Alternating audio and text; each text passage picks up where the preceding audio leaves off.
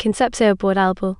Concepció Bordalba i Simón 1866 June 1910 was a Catalan operatic soprano who performed under the name Concetta Bordalba outside her native Spain.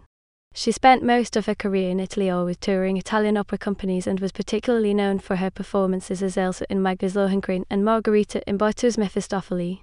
Life and career Bordalba was born in Barcelona and studied at the Conservatorio Superior de Música del Liceu in her native city. While there, she sang in the opera L'Ora d'Evelyn, which Maria Obiols had composed especially for the students at the conservatory. By 1881, she had been engaged as a principal soprano for the opera season at the Teatro Apollo in Madrid. After further studies with Federico Blasco in Milan, she made her debut in Italian opera houses in 1887, singing Elisabetta in Don Carlo at the Teatro Carlo Felice in Genova and Leonora in Il Trovatore in Venice.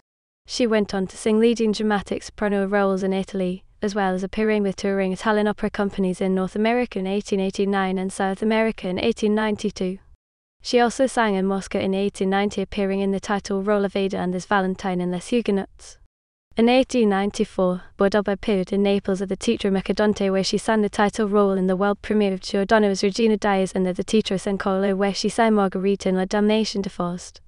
She was at La Scala in Milan in 1896, again singing Marguerite as well as Maria Mascagni's Guglielmo Ratcliff.